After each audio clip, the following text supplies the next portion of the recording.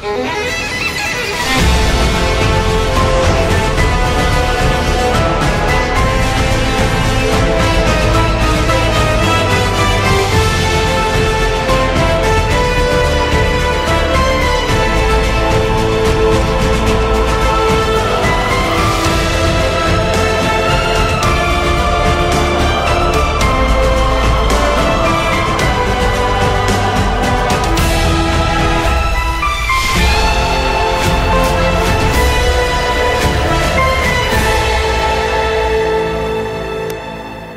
dragi naši ljudi, kako ste zahtijevali, bomo govorili nekaj o ratu, jer prošli tjedan je bilo ono u Vukovaru, kaj je zapravo čista sprdačina, sprdačina s onima koji su dosta, doista bili v ratu i koji su poginuli za ovu našu domovinu. I sad sve jedno da je tu bili na našoj strani ili na drugoj i ovi na prvoj crti su doista mislili da se borio za neke dobro, a ovi iza su krali i pljačkali sirovine i imovinu bivše države. Tu sam sad stavil pet limenki pive da vas pitam da li biste vi mjesec dana riskirali svoj život za ovakve pet limenke pive. Da kužite doista kako je bilo u ratu, a zbog čega to budete čuli u toj mojoj priči. Druga stvar je, na televiziji samo vidite budalaštine, laži i izmišljotine. Tako da ono kaj je na televiziji nije istina, istina je sasvim drugačija. Primjerice, gledate ratne filmove i onda si stavljaju novinari onaj prsluk gdje gore piše pres. Da ne budu pogođeni. A u biti je stvarno sasvim drugačija e, jer jedan život novinara 1994. godine kod Kupresa vrijedil tek 50 njemačkih maraka. Govorim iz prve ruke ja sam trebao voditi napad, znači oslobođenje Kupresa u vodu stranaca u ekipi za napad na neprijateljske bunkere, a moj brat imao je 15 godina dok je posle došao u Kupres i ušao u milicijsku postaju Kupresa gdje je bilo otvoreni trezor i unutra je bilo, su bili bonovi od 50 maraka za svakog ubijenog stranog novinara. Znači oni su dobivali 50 maraka bon i mogli si kupiti neku hranu ako je ubil novinara neprijateljskog. Evo sad kako dojemo do te pive, priča počinje tak da to je bilo negdje početkom proljeća 94. E, trebalo je u enklavu kod Konjica gdje su muđahedini pobili sve naše Hrvate poslati novi, novu ekipu od 200 vojnika da mjesec dana drže položaje.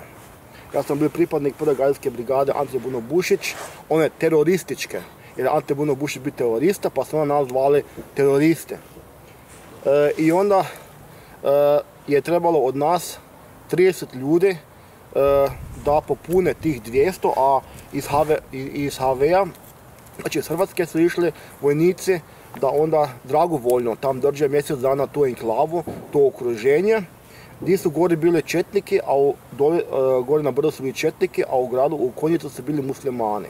Mi smo imali neki kakav takav primjer, primjer je, a četniki i muslimani su još bili u ratu. I trebalo je 20 km kroz neprijateljsko područje ući nenaoružan da bi se zamijenilo tu vojsku koja je tamo čekala zamjenu. Kako smo mi bili svi dragovoljci od stranaca, mi smo svi onda e, trebali ići tam, bilo 30 ljudi pa neke malo falilo, onda su još dva dečka e, iz brigade isto došla koji su bili kuhari prije na brodu da kuhaju i jedan hrvatski vodnik kojemu se obećalo da bude satnik ako bude pristal da ide mjesec dana u okruženju. Znači tako je dobio svoj čin e, satnika da je jedni bil, znači bio neki bogac, neka sirotinja bez veze u Kradezeo, pa je onda tak došao dale se uzdigao. I onda, kako uvijek, dok se ide na takav teren opasni, e, popunjavaju se kamioni i puno njih nema. Svi, neki veliju da imaju neke tečajeve, neki ne braju. Znači u tim uh, gdje su dragovoljce, e, malo tko odustane, a bio sam u profesionalnoj brigadi zbog toga jer je bilo previše e, loše biti u običnoj vojsci. Jer dok je išao kamion e, obične vojske na prvo crto, onda su tu bile žene, majke, djeca, plakalo se i čak cijeli autobus je odustao. Svi se razbježale ili pak dok su negdje stali su se ljudi razbježali od straha. Nisu htjeli poginuti na prvoj crti. A kako smo mi bili dragovoljci, to nije bilo, nije bilo tak. Mi smo išli, bilo nas je strah, ali smo ipak išli na prvo crto. I dok smo usput stali, onda je još jedan dečko, Frenki Šubah, on se još kupi jedan pištolj u špotskom dočanu jer mogli se kupovati oružje za 1600 e, kuna. Mi smo dobili na polasko tih 1600 kuna, odnosno 500 marke, plaću mjesečno i obećano nam je da kad se vraćamo natrag dobit ćemo isto 500 maraka. Znači to je bilo osigurano. I isto moram spomenuti, kaj se tiče e, napad na Kupres, tu je bil vođa napada Ronald, jedan kanadski Rus, koji je isto onda e, poginuo, zapravo ubijen je nakon godinu dana. E, on je bil moj binom, znači kao ja sam bio njegov partner u borbi, ja sam znao hrvatski jezik, jer neko je trebalo znati jezik hrvatski e, u tim prilikama i bio sam jedini Hrvat u vodu stranaca, taj da to kaj govorim, ne bi niko drugi govoriti isto, jer sam bil jedini. Uglavnom, možemo stati sliku gore, Roni je bil super dečko, ali svi koji su poginuli u našoj prostorbi, njih dvojica, su ubijeni od vlastitih ljudi. Roni od nekog plaćenog ubojica izrešetan dok je bil u vojarni Božan Šimović u krevetu, a drugi dečko je pal mrtav na mene jer je ubijen iz zajebancija. Tako da vam to nije lijepo i to nije ono kao neko pričao o ratu, a dok sam bio mali, 70-ih, onda su ljudi govorili o drugom svjetskom ratu kako je bilo, ali su govorili tak da su često lagali, tako je bilo super, lijepo, a to nije istina. Bitno da se govori istina kako je doista bilo. Naša brigada, našu brigadu, prvo gardijsko prešlo oko 5000 ljudi, 406 je ranjeno, 400 je ranjeno, a 106 je poginulo. Dakle da svaki deset je, mogu se reći, nastradao. Mi smo putovali onda gotovo čitav dan do te enklave, došli smo do Jablanice, ali ne na uružane.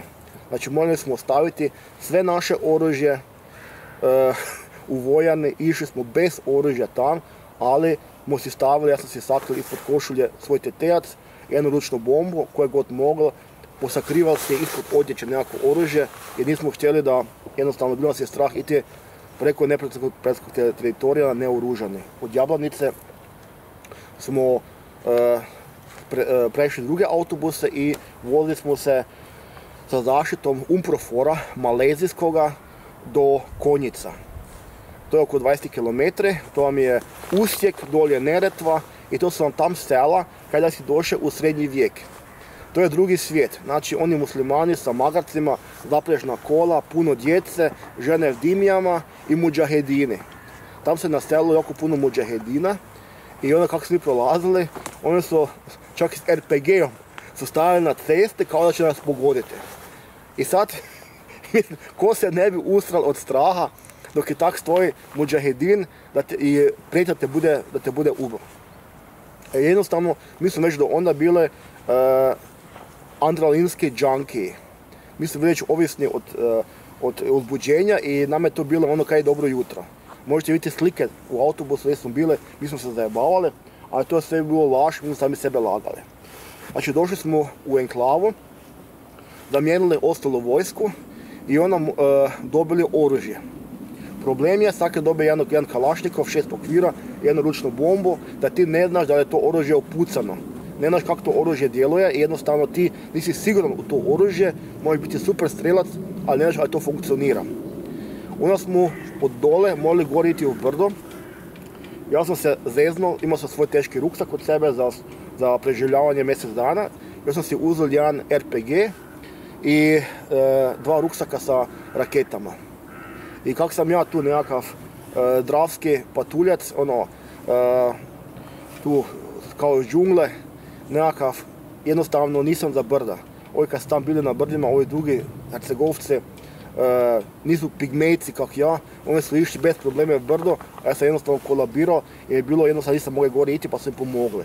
A cesta je bila minirana. Jedni puteljak je bio gore, tu su digli zrak u vrijeme uh, tog napada muslimana. Je, po, poanta je bila priča ta, uh, te muđahidini su domaće muslimane, domaće dečke tak izmanipulirali da su ih, ih uvjerili ako se budu u plavu pofarbali i ako budu goli napadali nas samo s noževima, da budu neranljivi. Niko ih ne mogu ubiti. I onda su dečki, ti muslimani, napali nas, pobili su civilno stanovništvo i došli su do vrha brda, koji su bili četnike. Četnike su bili godine sa tenkom, onak ima tri cijevi pod avionac i onda su četnike nas spasili. A u Bosni je bilo tak, to je bio bosanski lonac. Nikad nisi znal protiv koga se boriš i s kim, jer jednostavno tu na jednoj fronti su ti bili neprijatelji bosanci i prijatelji Srbi, kod drugi su bili prijatelji Srbi, bosanci su bili neprijatelji. Ili bilo kontra. Sve je bilo tu zmešano, nikad nisi znal kam buš došao, kakva bude situacija, a situacija se mogla konstantno mijenjati. Druga poanta je bila, e, ovi kad su išli natrag iz enklave, napustili su sve položaje i jedan dan nije bilo vojske u enklavi. Znači mogli su došli doći muslimani ili, ili Srbi, postaviti na mina, mina na, puteve i bi bi nastradali. I onda smo mi išli gore i zauzeli smo tri kuće od tih ljudi koji su ubijeni. U tim kućama još su bili lonci sa hranom kad se onak stvrdilo od tog napada prije nekih godinu dana, je to bilo. I krv je bilo po tepihima, znači bilo je to ono kaj je skoro od filma, ali jednostavno stijeć naviknut na to. I onda smo se podelili u tri kuće. Znači taj hrvatski vodnik, mi smo ga zvali Fet Špek, jer smo mi bili svi dosta oholi, svaki dan smo vježbali, e, dok je neko malo bi debeli, onda smo mu se rugali. I taj je onda bio taj Fet Špek, te je bil e, u jednoj kući sa kuharima, a mi smo se podijelili, znači mi stranci, od toga je bilo pola legionara, bivših, u dvije kuće. I dok smo došli u te kuće, tu su mali pesek izlazili van i mačke, jednostavno životinjice su se posakrivale prije toga, bili su preplašene, to je sve bilo zapušteno, ali tih mačaka i pasa nakon tjedana više nije bilo, jer su naši kuhare znali dobro kuhate, tako se nije skužilo kaj su nama skuhali od gulaša. I uglavnom, da ideš tam i ne znaš na kaj si došao. Mi smo se podijelili do dvije kuće i onda smo organizirali noćnu stražu po jednu vuro. I, problem je, zahodi su bili vani. Ti možeš iti van strat i ne možeš paliti da te svoj tvoj čovjek ne ubije. Zato smo dobili i parole, kad smo znali. Ali, živci su već bili tak napeti da Michael Krac, moj najbolji suborac u rato, on dok je bio na straži, njemu su živci popustili i on je vil neko sjenu i on je zapucal. Došli do uzbune i ja sam Boga me biti zadnji koji se probudio, tako sam već bio umran a uglavnom nije bilo ništa, to je bilo dobro. I onda je krat za kazno prebačen u drugu kuću, tam gdje su bili problematični. E, ne samo problematični ljudi, nego su bili problematični i zapovjednici. E, tam je bil jedan e, naš šef International grupa, znači voda stranaca, jedan Taljan, koji je morao pobeći iz legije stranaca jer je ubio svog prepostavljenoga. I prije mog dolazka je ubio čak još jednoga švicarca koji je navodno kralj Morfi. Njega je zrašetal usred Tomislav grada. I taj je bil stvarno živac, ali ako ste u ratu, vi morate imati zapovjednike koje se bolje bojite nego samog neprijatelja. To je kak i u rimskoj vojsci. Rimski legionari su se mogli toliko plašiti svojih zapovjednika kad su bili mirni u ratu, u formaciji. I ako postoji rasulo, e, nema, nema nikakvog morala i jednostavno to svode k vragu. Znači Miša i Krac, možemo baciti neku sliku unutra, moj najbolji prijatelj, završili onda u toj drugoj kući, a sad sam se čulo jutro s njim, Krac si je jajce pekel u Ukrajine, e, stara Kajla jednostavno ne ga ubiti, toliko je ratova prešao da je ne uništiv, već je godinu i pol dole, dole i jednostavno e, ne bez toga. Zato kaj ljudi koji su ti psi rata, oni treba, oni njima to društvo paše, i ne mogu se jednostavno ne paši civilan život. Uglavnom mi su se onda podijelili kasnije u tri, tri grupe, su imali tri bunkera. Gdje su morali onda čuvati liniju, teren je bio katastrofalan, jako strmo, e, ispod lišća je bilo klisko, možete pokliznuti se i odletjeti u ponor, e, gdje su bili suhoziti, bilo puno poskoka. E, žene nije bilo, samo jedna bakica stara koja je vrt obrađivala i bili su još par civila, oni koji su pokrali sve kad se dalo pokrasti od drugih kuća, znači bijelo tehniku, čovjek je imao puno dvorište bijele tehnike i sve mu se zahrđalo jer nije kome prodati. A to je pokras sve okole.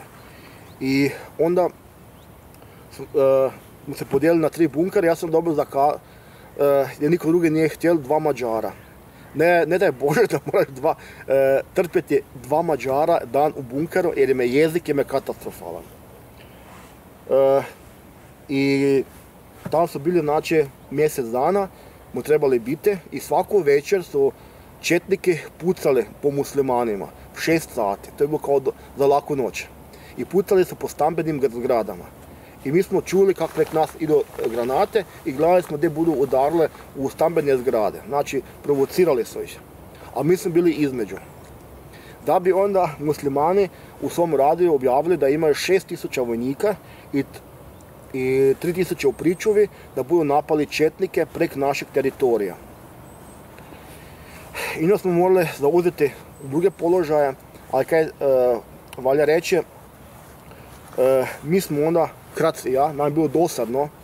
Rekli smo idemo u grad, dole malo pogledati, bomo se presvukli u civilku. Ne daj Bože da su nas muslimani uhvatili, rekli da su nekakvi agenti i nastradali bi. Onda smo otišli gore na brdo, gdje su četnike slučajno došli u kontejner i neke su se dogovarali sa Umproforom iz Malezije i Hrvatima. I kak je Mišel i Krac, ja, već bili opičeni totalno, mi uđemo k njima i ja sam predvađao neke četnikima na engleske Uh, njihov zapovjednik je lagal da je adjudant, a adjudant je lagal da je zapovjednik, ali se vidi po tome uh, u toj hieraršijskoj ponašanju ko je tko, su se lagali da ne bi mi upucali slučajno zapovjednika. A svi su bili naoružani i onda dok ti njim pričaš ugodno, kak je sad sad mama, gledaš na ruke. Svi smo prebacili Kalašnikov na Rafal. Ja sam mislio ako prvi počne, nemam ja zadnje. Da svaki bude prvi i previše je bilo napata situacija, mogli smo se pobiti samo tak. I u toj situaciji Mišel Krac veli staromu jednom četniku, bili oko šest ili osam, nas je bilo samo dva, veli, hoćem tvoj kajš. Imali je novi remen JNA, a ovo je staroga. I onda je tako dugo je inzistirao dok nije ovu dao, dok nije rekao zapovjednik dajmo toj, taj novi remen za stare, e, da se ne postreljamo. I kad su četnike otišle, mi vidimo iza u kontejneru Malajzejac, malajzijski umporfor, pod nekom je bil skrit, bio pijan ko majka, napil se kao naš Hrvata, bila je fora napesti muslimane jer ne znaju, jer ne smiju piti. E, on je zišao van, on su ga odnesli u njihov kamp e, pijanoga, a mi, mi smo onda se vratili natrag, ali poanta priče je bila ta da jednostavno je sve bilo ludo. I dok se vratili čali natrag i sad se malo zamisliti tu situaciju, E, iskopavali su one muslimane, dečke koji su napali na našu enklavu, jer su do muslimani dobili dozvolu da svoje mrtve izvade van i pokupaju na muslimanskom groblju. Tam su bili roditelji i rodbina onih koji su nas pobili i vadili su van njihove dijelove tijela, znači to je već bilo uh, utruba ko sir, to tak smrdi, dok ti to mirišeš, ono povratiš uh, automatski. Malajzejci su se plakali tam, E, kako su se osjećali ti muslimani dok su došli na nas teritorij po svoje dečke koji su nama pobili ljude. Znači, stvorilo se takvo netaprljivost takve situacije kad jednostavno to se teško objasniti. A svi smo bili indoktrinirani. Znači, mi Hrvati smo bili e, katolici, ustaše, fašisti, nacisti. Ono su muslimani su bili uh, muslimani, uh, muđahedini i uh, želi su neku, neku muslimansku državu a Srbi su pak bili komunisti, antifaš, ona, ne, bezbožnici i imali su Ruse iza sebe. Znači, napravili, to je bilo onaj rat Rusije i Amerike, bomo rekli, i nekog islamskog svijeta u Bosni, da nije negdje drugdje. I tako su nas nahuškali da jednostavno je došlo do toga. E, I onda, e, nakon tri tjedna u tom sranju, da jednostavno nisi imel uh, vodu za pranje, jel si imel za pite, neka, neki lopov iz uh, možda čak i zapovjedništva našeg posla je jedan kombi sa pivama, upravo ovakvim pivama, u tri deci, ne od pola litre. Došli kombi sa pivama jedna piva je bila 100 marke. A svi smo imali novac kod sebe, 500 marke. I onda nakon tri, ali znaš da budeš dok peješ zimu, budeš dobio opet još 500 marke. I znači onda e, dečki su riskirali cijelu svoju plaću da bi dobili ovakvih pet ustranih piva koje nije inače niti ja, malo više od litra i pol pive koje se ja mogu sad preušiti da god hoćem. A nas su tak zajebali, imali smo da za budale. I neko se grdo obogatili na nama, znači ako je bilo nas oko 200-300 puta 500, to je oko 150 tisuća maraka je neko potega na tim pivama. I kako smo mi očekivali napad tih muslimana, mi smo bili baš između, a imali smo premalo oružja, mi smo psihički pošandrcali. Ova kuća pokraj nas gdje je bio taj Giovanni Lude, on je svoje dečke ponorili, uzbune napravili, tjerali čitavu noć da skaču u septičku jamu. Jer su bile septičke jame iskopane, u govna su morali skakati, inače bi, bi ih pobili. Mi smo to čuli, ali nismo se uopće miješali. Čekali smo do jutra da vidimo koliko bude mrtvih i ranjenih. Srećom, nitko nije ubijen, ali ljudi su pošandrcali. I na prvoj crti su ljudi viđali patuljke. Bili su uvjereni da vide od tog štreca patuljke. Mišeli krati se vidjeli rakunu sa mladima. Ja sam morao e, održati baš na tom jedno, na, na bunkeru e, treću stražu. Znači od 3 do 6 jutro dok su Mađari spavali. I dok si ti tak sam, ti ne znaš otprilike gdje su drugi bunkeri, ali ne vidiš ih, naš dečki spavaju, sve uvisi od tebe. I to je bilo prije ponora, znači dolje je bilo bil strmi ponor ja sam stvarno čul sam i vidjel sam dahtanje teško i kako se granje miču. Pet, tri metre do mene, nemam pojma. I neke ide gore, prema meni, prema bunkeru. Skočim ja unutra v rov, e, spuca sam, u, šoku sam stavio na pojedinačnu paljbu, ne na rafalno, pucao sam par puta u taj smjer i onda sam bacio još ručnu bombu. Da ako neke, e, da, neke desorientiram, da e, ne zna gdje se ja nalazim. I onda su dečki se jedno probudili, došli do uzbone i jednostavno nismo nikad našli. Možda je to bil medved, možda je nije bilo nitko, ali moja greška je bila jer sam instinktivno djelovao. E, računao sam da je teren ravni, ali teren je više strmo.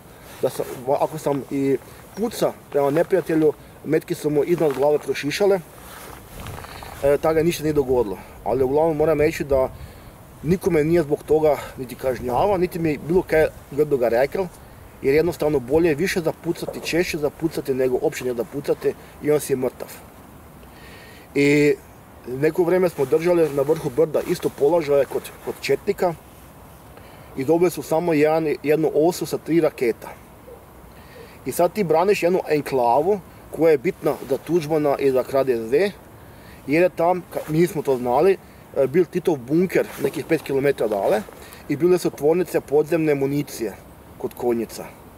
I zato je bila ta enklava tako važna i jer su tu još bili Hrvati koji su ovako jednak svi htjeli pobjeći u, u, Zagreb. I kako smo mi bili gore na, na vrhu brda, e, došla je zapovjed e, da stižu muslimani u napad, a mi moramo držati položaje, položaje koji nisu bili položaje, nego to je bila ravnica. Nisi smjeli niti kamen na kamen staviti, niti iskopati rov, ništa. Jer tako je bila zapovjed. Čak smo htjeli uzeti i e, bodlikavu žicu sa ograda, da pojačava položaje, to je bilo zabranjeno jer je to Umprofor nama zabrano. I sad ono ti si misliš tu on poginuo, da kaj, a ne smije se ti braniti. On se dodajeti pitanje kaj ja tu uopće delam.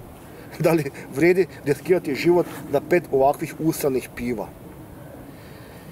I tako smo ono e, to odradili i kad smo išli natrag mu se vraćali, onda smo tek vidjeli koliko je se civila bilo posakriveno po tim kućama i su ljudi htjeli pobjeći iz te enklave. Žene su se plakale, molile, bakice su isto tam se plakale, šli su kod nas u autobus, ali samo taj broj ljudi koji je ušao unutra smije onda izaći van. I kad smo išli otpad van iz te enklave, a morate znati da e, tam je bilo tak prljavo, e, jezero kod konjica imalo je oko metar sloja smeća kad je puta gore na, površini vode. I ono, ovi naši gladni su čak i ukrali minsko polje, na minskom polju one štapine TNT-a, misli neku ribu loviti, ali jednostavno nemaš kaj loviti ako godi pluta smeće. Opet smo išli, smo se vozili natrag i kaj onda isto niko vas to ne bude doživjel ako sam ne proba. Dok ti iz terena ideš natrag, koji je to osjećaj odlakšanja kada se opet rođeni. Tebi jednostavno suze idu od veselja, od radosti jer si preživio se opet jedno takvo stranje. I onda se sad pitam zbog čega meni ne daju status branitelja i oni koji čak i nisu bili na prvoj crti, nego su zlagali da su se preplašili pa su dobili PTSP, već 30 godina dobivaju nekakve penzije koje su bile po 5-6 puta više nego plaća čovjeka u, nekoj firmi i takva populacija onda ide tam ne Vukovar i glumata da su velike heroji. I druga stvar je, moj zapovjednik ima dvije generalske penzije i imali je, nije ga bilo sram priznati u medijima da ne bude postupal iznad svog zapovjednog lanca jer je profesionalni vojnik. Za civile koje ne radne, kaj čovjek reka da vam objasnim. Znači, on nema muda bilo kaj napraviti, osim onima kaj su niže, a mi koji dajemo takvoj osobi svoj glas, koji je bilo u, bilje u saboru, očekujemo da se on neke napravi, a jednostavno ne bu napravi i to vam veli v lice i ne kužite kaj je rekla. I sad se pitam, imamo 120 braniteljskih udruga e, koje opet uopće digla svoj glas e, sad dok počnu e, igre gladi ili prije dok je bilo pelcovanje. Niko nije ništa opće pisnuo. Tako da me tu na posebna čast da ono, no mi imamo muda reći neke kaj, kaj treba reći. Makar morate znati da ja kao takav nigdje ne postojim u evidenciji. Ja sam zapravo 7 godina nakon rata, oni su mene zvali da obavim vojni, svoj vojni rok u Hrvatskoj, a došao sam iz Legije peške k nam i onda sam odbio to. Rekao sam da ja ne budem uopće išao obaviti svoj vojni rok i mi ne kad sam bil u ratu pola godine i onda sam doživotno nesposoban kao to bož za vojsko i to me uopće nije sram. Jer ako bude opet rata, ja opet ne bom riskirao svoj život za pet ovakvih piva, i vama isto mojem reći, nemojte ko mi srljati u nekaj, jer to bodo drugi iskoristili da, da se na posle obogate. Evo, to je za mene bilo već sad sve. Nadam se da se neke poučnu ga izvukli s toga i da, da budete vidjeli te slike iz rata, jer su ipak dokaz da sam bil negdje, kaj mi se želi usporiti od tih javnih ustanova i pazite na sebe i na svoje. Ovo je svi ostali su nebitni. Neko njih čuje, čuje sebe, a ne da budemo opet kako ovom vratu, kad smo se žrtvovali za one koji nisu bili dostojni toga i odmah pozdravljam tu sve one koji su bili na prvoj crti, bilo na muslimanskoj strani, na srpskoj strani i bilo gdje drugdje.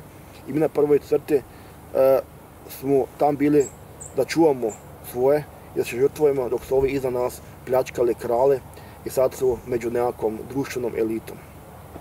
Amen.